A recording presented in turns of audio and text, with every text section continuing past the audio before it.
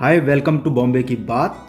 और जो एक्टर की बॉडी होती है, वो एक इंस्ट्रूमेंट की तरह होती है दोस्तों। तो ये एक इंस्ट्रूमेंट की तरह काम करती है। जितना ज़्यादा अच्छा वो इंस्ट्रूमेंट काम करेगा, आपकी एक्टिंग उतनी ही अच्छी निखर कर सामने आएगी। आज हम बॉम्बे की बात में बॉडी लैंग्वेज की बात कर रहे हैं दोस्तों।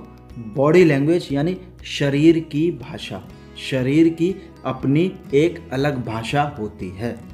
जो आप मुँह से बोलते हैं, जो मौखिक भाषा होती है, जिसको वर्बल कम्युनिकेशन कहते हैं, वो मौखिक भाषा होती है और जो हमारी बॉडी की लैंग्वेज होती है बॉडी लैंग्वेज जिसको बोला जाता है, वो होती है नॉन वर्बल कम्युनिकेशन तो इस बात को आप ध्यान से सुने कि जब हमारी बॉडी कम्युनिकेट कर रही है किसी ह्यूमन बींग्स के साथ, किसी दूसरे ह्यूमन बींग्स के साथ तो वो एक नॉन वर्बल कम्युनिकेशन कहलाया जाएगा.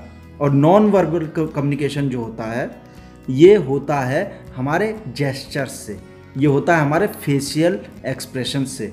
तो जो जो हमारी बॉडी का जो टोन है, जो हमारा चलने का तरीका है, वो सारी चीज़ें इसमें इन्वॉल्व होती हैं, वो सारी चीज़ें इसमें आती हैं दोस्तों। जैसा कि मैं अभी आपसे बात कर रहा हूँ और मेरे हाथ जो है कभी इधर जा रहे हैं, कभी उधर जा रहे हैं, कभी मेरी भौहें जो हैं आईब्रोज जो हैं, वो तन रही हैं, कभी मेरे जो होंठ हैं, वो वर्क कर रहे हैं, वो अच्छे से हिल रहे हैं, कभी मेरी जो जीभ है, वो एकदम से बाहर निकल रही है, कभी जो मेरी आँखें हैं, वो कभी बड़ी हो जाती हैं, कभी छोटी हो जाती हैं, कभी वो गुस्से में हो जाती हैं। तो दोस्तों, ये सारी चीज़ें जो हैं, वो बॉडी लैंग्वेज के अंदर आती हैं।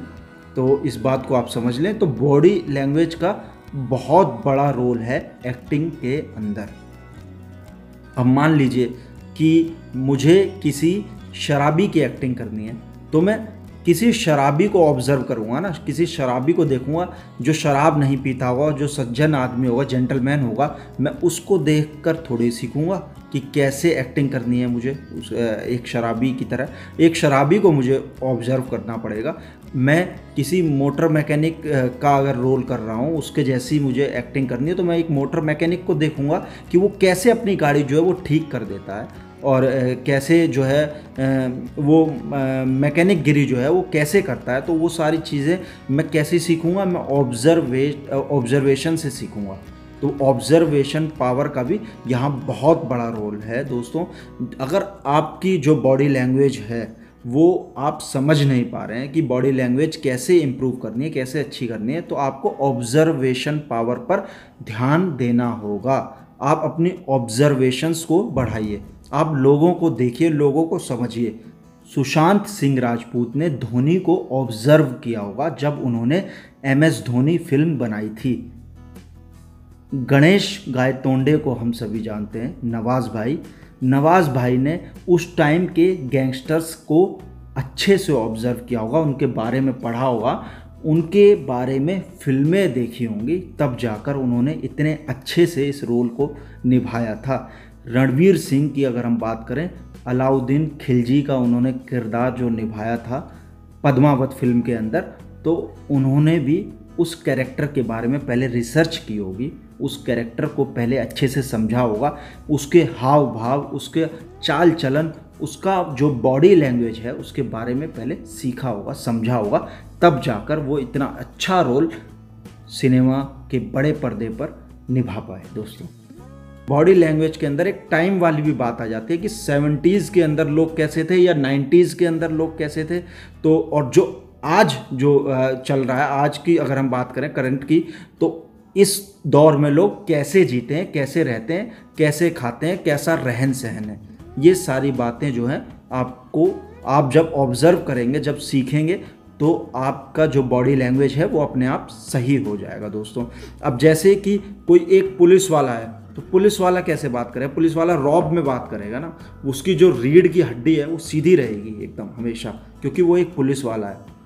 और जब वो गन लेकर ऐसे जाएगा तो उसका पोस्चर जो है, जो उसके जेस्चर्स जो हैं, या उसका जो फेशियल एक्सप्रेशन है, या उसकी जो पूरी ओवरऑल अगर हम बॉडी लैंग्वेज की बात करें तो उसको आप देखेंगे तो वो एक दूर से लगेगा कि हाँ कोई पुलिस वाला जा रहा है। तो ये भी आप कहाँ से सीखेंगे? आप जब किसी पुलिस वाले को खुद ऑब्ज़र्व करना सीखेंगे। जब खुद ऑब्ज़र्व करेंगे, तभी इस चीज़ को आप सीख सकते हैं दोस्तों। आदि मानव के बारे में आप सभी ने सुना होगा।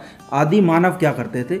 वो मौखिक भाषा नहीं बोलते थे, वो वर्बल कम्युनिकेशन नहीं करते थे, वो नॉन वर्बल कम्युनिकेशन करते थे, लेकिन अपने इशारों से, अपने जेस्चर से, अपने फेशियल एक्सप्रेशन से। तो वो लोग जो है, आपस में ऐसे ही बात कर लेते थे।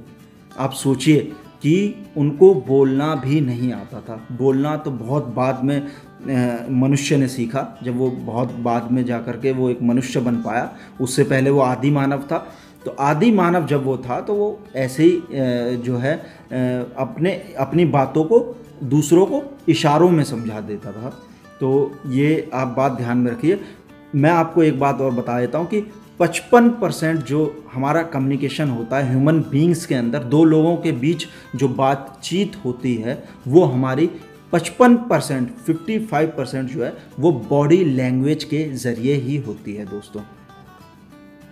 38 परसेंट जो है कम्युनिकेशन वो हमारा, हमारी वॉइस टोन के ज़रिए होता है। और सात परसेंट जो कम्युनिकेशन है, वो हमारा वर्ड्स के ज़रिए होता है दोस्तों। तो ये एक साइंटिफिक बात है जो मैं यहाँ कर रहा हूँ। लेकिन आपको अगर सरल भाषा में, सरल शब्दों में मैं समझाऊँ तो एक जो बूढ़ा आदमी है, वो हमेशा झुक कर चलेगा। उसका जो बॉडी का जो पोस्चर होगा, वो हमेशा झुका हुआ होगा। थोड़ा जो उसकी रीढ़ की हड्डी है, वो हमेशा थोड़ी सी झुकी हुई होगी, जिसकी एज बहुत ज़्यादा है। साठ पार की मैं यहाँ बात कर रहा हूँ, साठ या सत्तर बरस का जो हो चुका है, उन बुज़ुर्ग की मैं बात कर रहा हूँ। और अगर आप किसी गरीब आदमी को देखते हैं तो गरीब आदमी कैसे चलेगा? गरीब आदमी हाथ जोड़कर और झुक कर चलेगा ना? तन कर तो नहीं चलेगा। तन कर कौन चलेगा? तन कर वो चलेगा जो मूछों पर ताव देता हो, जो अपनी दाढ़ी को बार बार खुजलाता हो और जो बहुत रोबीला इंसान हो, जो कोई बदमाश हो, जो कोई गुंडा हो। कोई गुंडा कैसे चलेगा? गुंडा हमेशा तन कर चलेगा। और जो उस, अगर उसने शर्ट पहनी हुई है तो वो अपनी आस्तीनों को बार बार ऊपर करेगा, वो रॉब दिखाने के लिए। तो ये उसका बॉडी लैंग्वेज है दोस्तों। तो ये बहुत सरल भाषा में मैंने आपको समझा दिया कि बॉडी लैंग्वेज क्या होता है। दोस्तों, आपने रस्सी पर चलते हुए लोगों को देखा होगा। अब तो ये खेल नहीं होता। पहले जो है कुछ लोग ऐसे खेल दिखाने के लिए आते थे गली मोहल्लों के अंदर छोटे छोटे गाँव और कस्बों के अंदर कि वो रस्सी पर बैलेंस बनाकर जो है एक छोर से दूसरे छोर तक पहुँच जाते थे। उनको आप देखिए उनकी कोई अगर आपको वीडियो मिल जाती है यूट्यूब पर तो वो भी आप देख देख सकते हैं कि उनका जो बैलेंस है बॉडी का वो कैसा बैलेंस वो बना रहे हैं। उनकी जो बॉडी है वो आ, साथ के साथ हिलती ही जाएगी। उनके हाथ भी साथ के साथ हिल रहे हैं, उनके पैर भी साथ के साथ हिल रहे हैं, क्योंकि वो बॉडी को बैलेंस करने की कोशिश कर रहे हैं। तो यही काम आपका भी है। आपको डायलॉग के साथ अपनी बॉडी का तालमेल बिठाना होगा, यानी दोनों चीज़ें आपस में कनेक्ट करनी होंगी। दोस्तों, अपने आप को सबसे अच्छा आप खुद सिखा सकते हैं। आप कैमरा के सामने जो है एक्टिंग करिए मोबाइल के सामने आप एक्टिंग करिए और उस वीडियो को आप खुद देखिए कि इसमें क्या कमी थी। आपके जो हाथ हैं, आपकी जो आँखें हैं, जो आपकी भौं हैं, या आपकी जो त्योरियाँ हैं, या आपके जो होंठ हैं, या आपकी जो जीभ है, वो कैसा काम कर रही है, वो उस डायलॉग के हिसाब से क्या वो ठीक है, क्या वो अच्छी लग रही है, यानी अगर आपको खुद समझ नहीं आ रहा तो आप अपने दोस्तों को दिखाइए, आप अपने एक्टर साथियों को दिखाइए, उनसे पूछिए कि ये मेरा बॉडी लैंग्वेज जो था, इस डायलॉग के लिए क्या वो सही है? इससे आपको बहुत हेल्प मिलेगी। दोस्तों, लोगों को अच्छे से ऑब्ज़र्व करने के लिए आपको अपनी आँख, नाक और कान हमेशा खुली रखनी होगी। आपकी ऑब्जर्वेशंस अच्छी होनी चाहिए। एक बात मैं आपको और बता देता हूँ आखिर में, जाते जाते, कि आप जो बोलते हैं, वो मायने नहीं रखता दोस्तों। जो आपके डायलॉग्स होते हैं, वो मायने नहीं रखते। आप उस डायलॉग को किस तरीके से बोलते हैं, ये मायने रखता है और इसी को एक्टिंग कहते हैं दोस्तों। तो आज की बॉम्बे की बात में फ़िलहाल इतना ही। मुझे दीजिए इजाज़त। शुक्रिया।